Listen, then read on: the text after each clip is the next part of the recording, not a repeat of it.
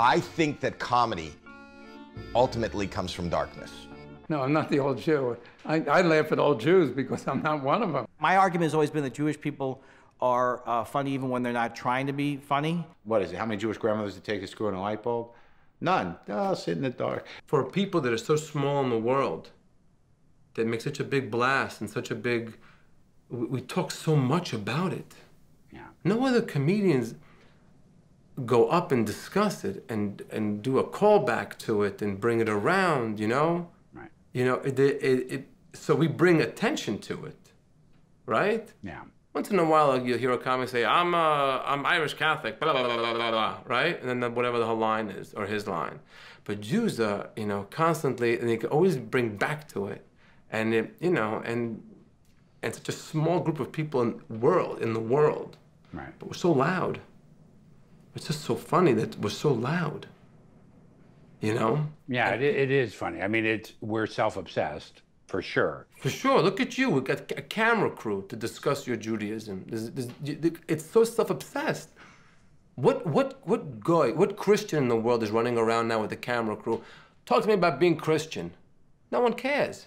Your connection to, to Judaism is through comedy. I was, I remember, I was, I think I mentioned it before, but the other day I was in, uh, in Second Avenue, Deli, and the smell is so geschmackt. It's so delicious and beautiful. And this guy walked in, looked just like you, with his wife, goes, ah, smells like Judaism.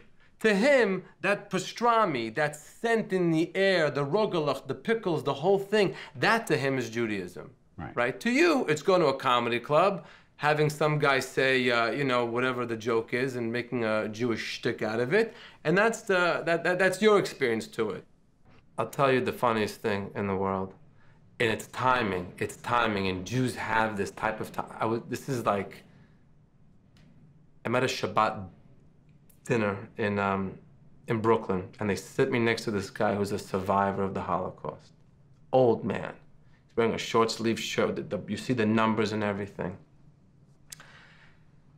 And a conversation began at the table about the synagogue, and somebody in the synagogue who moved the chair and didn't put it back or borrowed a book, and it was nonsense, nonsense. This old man out of nowhere picks his head out of the soup and in Yiddish says, Ich gedenkt ihm von der Lager. In, which means, I remember him from the lager, from the death camps. From the death camp. Now you have to understand now, the whole room is like, he's got our attention, like the floor is yours, right? And he says this in Yiddish. It was the funniest thing. You're talking about, they're talking about a guy in the synagogue who must be 100 years old also, who took a book and didn't bring it back. Nonsense, right? And he begins to tell the story. He goes. There was a night. I had a potato. And er hat nicht a Kartoffel. And he didn't have a potato. And ich hab ihm gegeben my Kartoffel. I gave him my potato. Right? And we're all listening to this. And he takes the perfect pause and says, if I'd have known back then he'd be doing the things he's doing today, I wouldn't have given him the potato.